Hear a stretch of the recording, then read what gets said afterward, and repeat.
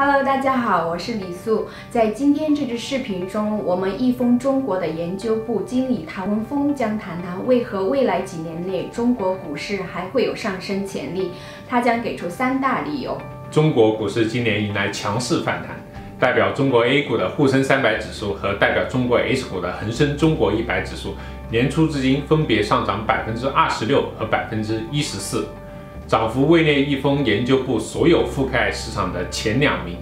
展望后市，即使在中国股市年初至今具有如此高的涨幅之际，我们认为中国股市依然具有非常强的投资价值。首先，我们认为中美贸易摩擦有望在妥协和协商中达成和解。在贸易摩擦和解的背景下，投资者对于中国股市的看法将由2018年的极度悲观转为乐观。因此，也将在情绪上促使中国股市在未来两年出现上涨。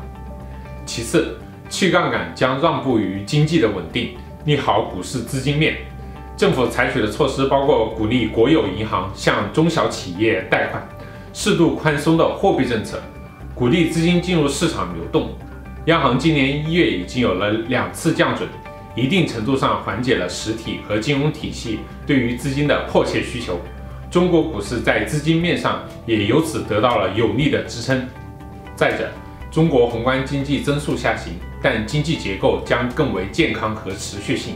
中国正在从一个出口和投资驱动的经济体转向消费驱动的经济体。城镇化率每年百分之一的稳步增长和中国 GDP 增速持续上行，将支持消费升级。这让我们对中国未来的消费增长充满信心。当上述因素相叠加，改变大家二零一八年底的悲观预期，将在二零一九年把预期指针从悲观的一侧拨回到乐观的一侧。从盈利上来看，我们预计中国实际 GDP 增速未来几年有望保持在百分之六左右，而名义 GDP 增长则有望保持在年均百分之十左右。因此，中国上市公司的整体盈利在未来两年有望保持在百分之十。从股市估值来看，中国 A 股沪深三百指数和 H 股恒生中国一百指数市盈率现在才十一点八倍和九点九倍，远低于它们的合理市盈率十三倍和十二倍。倘若考虑到中国未来两年的盈利增长和估值扩张，我们预计中国 A 股和 H 股未来两年将有高达百分之三十五和百分之五十的潜在涨幅。如果你喜欢今天这支视频，请继续留意我们的下一支视频。届时，我们的分析员将谈谈为何目前半导体产业仍然非常具有投资吸引力。